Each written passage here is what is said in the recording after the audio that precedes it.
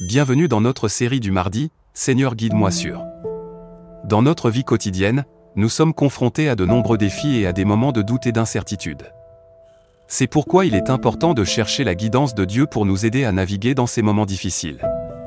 Tous les mardis, nous allons explorer différentes façons dont nous pouvons chercher la sagesse et la direction de Dieu dans notre vie. Que vous soyez en quête de réponses spirituelles ou que vous cherchiez simplement à renforcer votre relation avec Dieu, cette série est pour vous.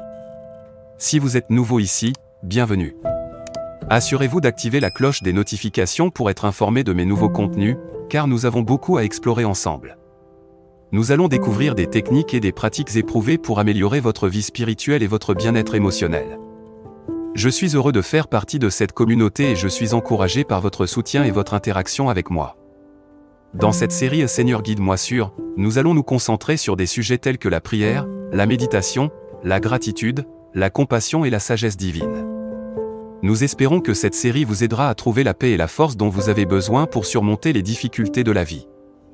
Alors, préparez-vous à être inspiré et laissez-vous guider par la sagesse de notre Seigneur. Seigneur guide-moi sur la protection contre mes ennemis. 2 Thessaloniciens 3, verset 3.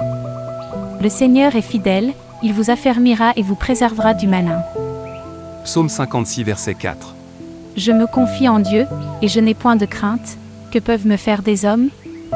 Psaume 27, verset 1. L'Éternel est ma lumière et mon salut, de qui aurais-je peur? L'Éternel est le soutien de ma vie, de qui aurais-je crainte? Psaume 46, verset 1. Dieu est pour nous un refuge et un appui, un secours qui ne manque jamais dans la détresse. 2 Corinthiens 10, verset 4. Car les armes avec lesquelles nous combattons ne sont pas charnelles, mais elles sont puissantes par la vertu de Dieu, pour renverser des forteresses. Psaume 34, verset 7. L'ange de l'Éternel campe autour de ceux qui le craignent, et il les arrache au danger. Psaume 121, versets 1 et 2. Je lève mes yeux vers les montagnes, d'où me viendra le secours? Le secours me vient de l'Éternel, qui a fait les cieux et la terre.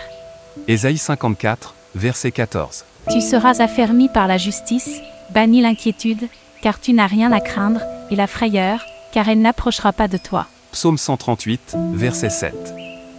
Si je marche au milieu de la détresse, tu me fais vivre, tu étends ta main contre la colère de mes ennemis, et ta droite me sauve. Psaume 23, verset 4. Quand je marche dans la vallée de l'ombre de la mort, je ne crains aucun mal, car tu es avec moi, ta houlette et ton bâton me rassurent.